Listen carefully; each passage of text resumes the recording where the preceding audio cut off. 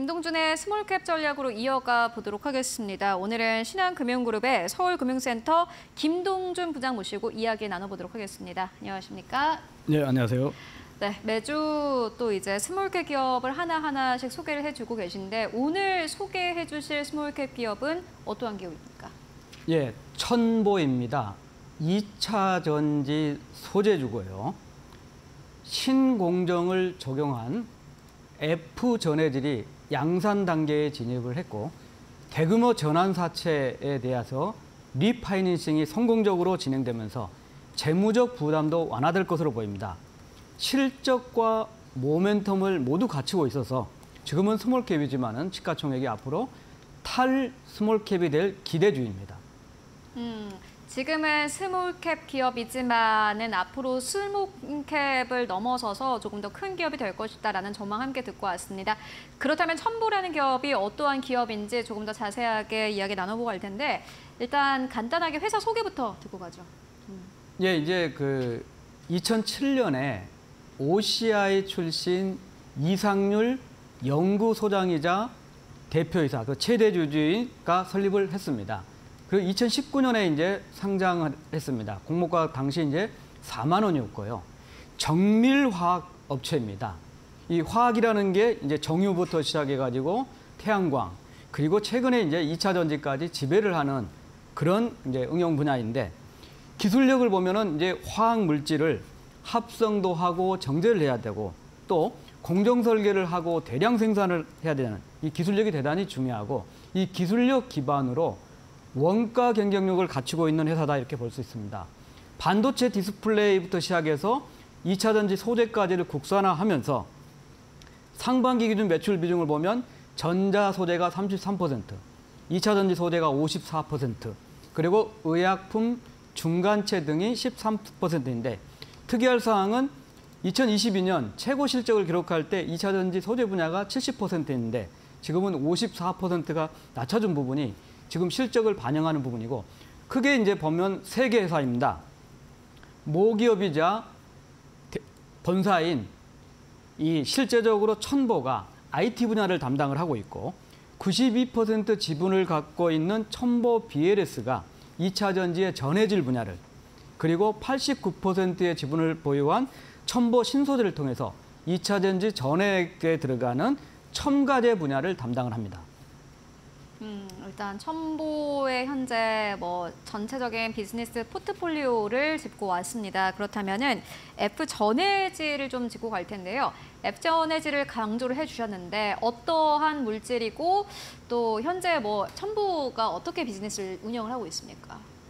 예, 이제 2차 전지의 4대 구성 요소를 보면 양극재, 음극재, 그리고 분리망, 그리고 전해액입니다. 근데 이 전해액을 뜯어보면은 세 가지로 구성되어 있죠. 전의 질, 그리고 여기에 붙는 첨가제, 그리고 용매입니다. 그래서 이 전해질은 전체 전해, 전해액의 중량 기준으로는 13에서 15%지만 절대적으로 핵심 그 소재입니다. 전 세계적으로 기존에 있는 전해질 대비 F 전해질이라는 것을 첨보가 세계 최초로 양산에 성공해서 21년, 22년에 호실적으로 기록한 상황입니다. 사실 이제 기존의 전해질은 구성으로는 LIPF6라는 쪽이고 첨보가 세계 최초로 양산 성공한 전해질은 어, LIFSI라는 그래서 이제 여기에 F 전해질이라고 약칭을 하는데 어쨌든 21년, 22년 최고 실적을 기록했던 이 F 전해질이 후발 업체인 중국 업체가 지내면서 경쟁도 있었지만은 새로운 공장을 이전을 합니다. 충주에서 새만금으로. 이러면서 새로운 공장이 가동이 지연되면서 생산이 공백 상태입니다. 이렇기 때문에 아까 말씀드렸듯이 2차 전지 매출 비중이 크게 낮아졌습니다. 그러면 이제 이 F 전해질이 새로 양산 단계 진입을 하는데 기존 전해질 대비로는 전도성, 안전성, 저온 저항, 그리고 에너지 밀도의 강점을 갖고 있기 때문에 요즘 흔히 좀 뜨는 좀 캐즘 시대로 뜨는 4680 원통형 또 LFP 배터리 또 리튬 황전지 이런 차세대 전지에서는 리즈가 커지면서 재차 F 전해질이 과거처럼 성장을 주도할 거다 이런 측면이죠. 네, F전해질이 앞으로 성장 주력 제품이 될 것이다라는 전망 듣고 왔고요. 그렇다면 F전해질 가동에 대해서 조금 더 구체적인 설명을 좀 듣고 가보도록 하겠습니다. 예, 이제 지난주에 배터리 코리아가 있었는데 그때 이제 전북 테크노파크 담당에 따르면은 지금 새만금의 2차 전지 소재 쪽을 육성을 하려고 하고 있습니다. 21개사가 MOU를 약 10조 정도를 투자하겠다고 해놨는데 현재 가동 중인 곳은 다섯 곳입니다. 이 다섯 곳 중에 천보 BLS가 운영하는 새만금 이 공장이 가장 큰 규모로 지금 가동이 되고 있는 상황입니다. 5천억을 투자를 했고요. 생산 규모는 생산 능력은 F전해질이 5천 톤 정도, 그리고 첨가제가 2천 톤 정도입니다. 5월 달에 완공을 했고 6월 달부터 가동 중에 있으면서 시제품을 생산해 가지고 샘플들을 수요처에 거래처에 지금 보내 가지고 검증을 받고 있는 단계입니다. 그러니까 양산 단계 중이다 이렇게 판단을 할 수 있겠고요. 여기에 특징적인 F 전해질의 경우에는 기존의 회사가 했던 공법하고 다른 공법입니다. 불산이라는 HF라고 하는데 저가의 원재료를 불산을 포함해서 대표적으로 사용을 했기 때문에 신공정으로 생산을 하는데 이 경우에 과거에 첨보가 생산했던 F 전해질 대비 제조 원가가 50% 이상 감소가 되기 때문에 이 양산 성공은 원가 경쟁력하고 수익성 모두를 확보한다. 자, 그러면 이제 인플레 감축법, IRA가 적용되는 그러면 이제 중국산들이 좀 제한적으로 쓸 수밖에 없는 상황이기 때문에 중국산을 대체하면서 북미 시장에서의 전망이 매우 밝다 이렇게 볼 수 있습니다. 전체적으로는 기본한 기본 인프라를 F전에 대해서 만 톤 정도를 갖췄지만은 지금 본격 가동하고 있는 거는 2천 톤 정도 규모고 1, 2개월에 약간의 보완 투자를 하면은 5천 톤 정도가 됩니다. 그러면 이제 앞으로 여기에서의 모멘텀은 2천 톤이 5천 톤이 되고 또 추가 투자를 해가지고 만 톤 되는 이슈가 있고 수요 업체, 배터리 업체한테 PO를 받으면 양산 납품을 하기 때문에 2025년 1분기부터는 본격적으로 매출 기세가 가세가 되지 않을까 이런 판단입니다. 어, 결국에는 이 프로젝트가 이제 성조, 성공을 하냐 그 여부를 확인을 해보셔야 될 것 같습니다. 성공만 하게 된다면야 뭐 원가 절감은 확실하고 앞으로 실적도 늘어날 것으로 보여지는데요. 그렇다면 현재는 어떻게 실적을 내고 있는지 좀 짚고 가도록 하겠습니다. 첨부의 현재 실적 현황은 어떻습니까? 예, 이제 2019년에 상장했고 상장 전인 18년에 영업이익이 270억 정도, 매출액이 1,300억 정도입니다. 네, 말씀드렸듯이 이제 F전해질 세계 최초로 양산하면서 22년에 매출액 3,300억 기록했고 영업이익이 565억 최고 실적을 좀 기록했습니다.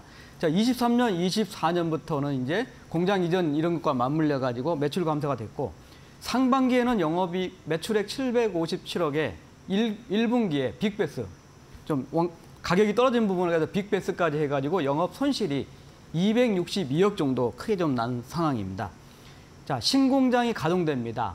첨보 BLS의 F 전해질도 가동되지만은 충주에 있는 첨보 신소재도 새로운 공법을 적용한 피첨가제가 또 가동이 되기 때문에 이 양산 가동이 되면서 25년부터는 실적이 크게 좋아질 것으로 보입니다. 이미 2분기부터는 이제 소폭적인 영업이익을 나고 있고 컨센서스 기준으로 영업이익은 24년에 233억 손실, 그러니까 상반기는 265억 손실했기 때문에 네. 하반기는 흑자가 되겠고요. 25년에는 영업이익 243억, 그리고 26년에는 3,880억 매출에 434억으로 그래서 과거의 영화를 누릴 수 있는 흐름으로 실적 개선이 뚜렷하게 나타날 거다 하는 측면입니다. 음, 일단 영업이익은 이번 해에는 안 좋을 것으로 전망이 되고 있지만은 앞으로 2025년 그리고 2026년의 실적 성장 전망치를 예상을 해주었습니다. 아마 그러한 부분 때문에 앞으로 탈스무캡이 강해, 가능해질 것이다라는 전망을 듣고 왔는데요. 그렇다면 주가의 전략은 좀 어떻게 세우면 되겠습니까? 예, 이제 모두 다 알고 있지만은 글로벌리 전기차 캐즘 이슈. 맞아요. 그러니까 대중화되기 전에 이제 수요가 예측되는 부분이 있고 또 리튬을 포함한 원재료나 제품가 이런 변동성 음. 이런 건 분명한 변수입니다. 또 다른 게 이제 첨보에 이제 관련된 상황은 과거에 이제 40만 원을 육박했던 주가 시절에 맞아요. 음. 3천억 원의 그 전환 사채하고 신주 인성공무 사채를 음. 발행을 했습니다. 이게 이제 전환 행사 가격이 30만 원이 넘는 음. 건데 25년 2월 달에 풋옵션의 청구 기간이 돌아옵니다. 그러니까 보유자가 조기 상환 청구권을 이제 행사하게 됩니다. 이거에 대해서는 이제 재무적 불안정성을 가질 수가 있죠. 왜 이 돈 받아가지고 대규모 지금 투자를 했기 때문에. 이게 다행인 거는 이에 대해서 좀 조심스럽게 리파이낸싱이 순조롭게 좀 되고 있는 상황입니다. 네. 3천억 발행에 관련해서 일단은 KB증권이 종합적으로 주관을 하면서 전체적으로는 KB증권이 어, 총액 인수를 하는 거죠.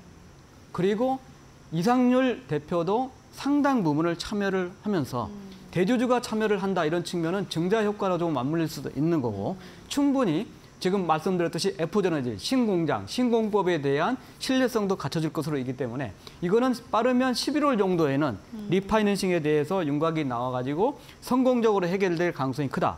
그러면 이제 재무적 부담이 완화되는 상태고 이거는 모멘텀으로 작용할 거고 양산되는 공장 또 피오를 받으면은 바로 매출 기세가 되면서 실적 모멘텀이 25년 1분기부터는 뚜렷할 거다. 이런 측면을 감안하면 이제 첨보가 2차 전지 소재주에서도 변방에 머물러 이런 요인도 변방에 머물러 있는데 이제 주도주로 감히 부상이 되지 않을까 이게 이제 탈수목깁이 될 수 있는 측면이고 거래량이 좀 작은 측면이 있습니다. 외국인이 5%도 있지만은 최대주주 특수관계인이 55%이기 때문에 아마도 이런 상황들 실적, 양산, 피오 그리고 성공적으로 리파이낸싱이 된다면 5%에 불과한 외국인도 충분히 높일 수가 있다. 자, 전체적인 주가를 본다면 역사상 최고가는 37만 원 정도고요. 지금 현재 가는 84% 정도 하락한 상태고 52 최고가만 하더라도 37, 13만 7,900원 정도입니다. 크게 하락한 상태이기 때문에 공모가 또 최저가 이런 걸 감안하면 지금은 오히려 매력적인 주가고 그죠. 또 포텐셜을 크게 가질 만한 특히 4분기를 주시해 볼 만한 회사가 첨보다 이런 측면입니다. 네, 첨보 주가 흐름까지 함께 짚고 왔습니다. 주가 고점 대비해서 80% 이상 내려온 기업인데 다만 이제 저점 구간을 지나가고 있고 앞으로 실적 전망도 밝다라는 부분까지 함께 짚고 왔습니다. 주가 흐름은 계속해서 따라가 보시면 좋을 것 같고요. 어, 그리고 또 TSMC 실적이 발표가 됐습니다. 저희가 2시 이제 방송 시작하자마자 TSMC 실적 괜찮을 것이다 라는 전망 함께 짚고 왔는데 시장의 예상치를 아주 갑 분이 뛰어넘었습니다. 시장에서 예상했던 것은 40%대의 영업이익 증가였습니다. 그런데 보시다시피 54% 이상 순이익이 증가한 것으로 나타났습니다. 특히나 TSMC는 전 세계에서 또 집중을 하는 기업이다 보니 주가 반응도 굉장히 빠릅니다. 현재 뉴욕 증시에서 ADR 같은 경우에는 거의 4% 가깝게 상승 탄력을 받아가고 있는 상황이고요. 어, TSMC 같은 경우에는 보시다시피 주가 자체가 최근 들어서 거의 신고가 부근에서 거래가 되고 있는 상황입니다. 그리고 로이터 통신에 따르면요. 3분기 동안에 3나노미터의 공정 출하량은 전체 웨이퍼 매출의 20% 정도를 차지했고요. 5나노미터 같은 경우는 32%, 7나노미터는 17%를 차지하고 있는 것으로 확인이 됐습니다. 어, EPS도 역시나 마찬가지로 미국 ADR 기준으로 했을 때 1.94달러를 기록한 것으로 확인이 됐습니다. 저희가 앞서서 전해드렸던 것은 1.8달러였는데 확실히 뭐 매출이라든지 영업이익 그리고 EPS 모두 다 시장의 예상치를 아주 가뿐하게 뛰어넘었습니다. 오늘 장 막판까지 시장의 영향 함께 확인해 보시면 좋을 것 같습니다. 지금까지 신한금융그룹의 김동준 부장과 함께 이야기 나눠보고 왔습니다. 말씀 고맙습니다. 감사합니다.